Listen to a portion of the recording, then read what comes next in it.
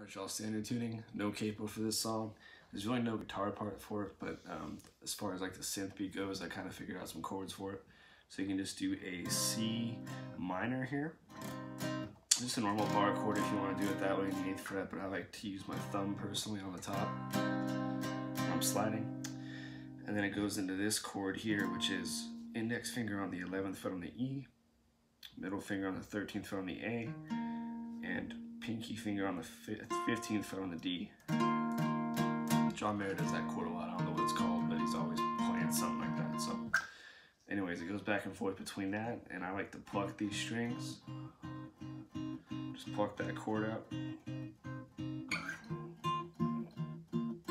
I use my thumb and my middle finger to pick up.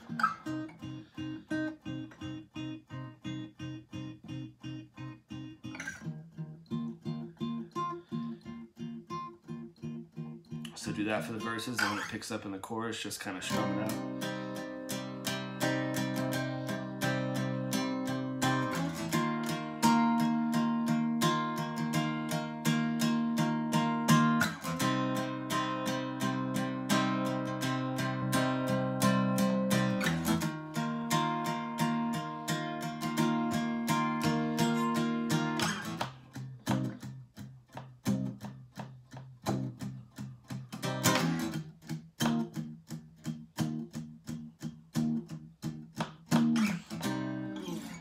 Yeah, it's just two uh, chords back and forth the whole song. So have some fun with that. If you guys want to try that out, I think it's kind of cool.